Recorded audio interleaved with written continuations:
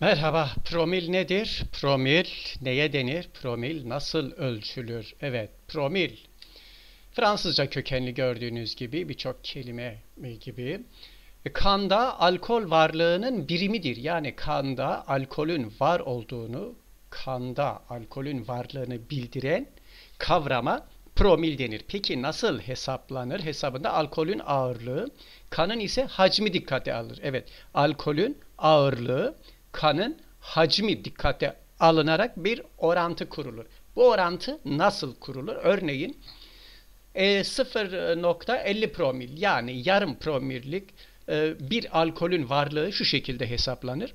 100 mililitre kanda, evet 100 mililitre kanda 50 miligram alkol bulunduğunu gösterir. Evet 100 mililitre kanda 50 miligram alkol yani bir promil olabilmesi için 200 e, mililitre kanda 100 miligram alkolün olması lazım. Evet 200 mililitre kanda 100 miligram alkolün bulunması gerekiyor bir promil olabilmesi için. Burada gidilerek 50 e, bölü 100 eşittir 0.50 promil kabul edilir. Evet gördüğünüz gibi 100 mililitre kanda 50 miligram alkol var ise bu 50 promil 0.50 yani yarım promil alkollü demektir.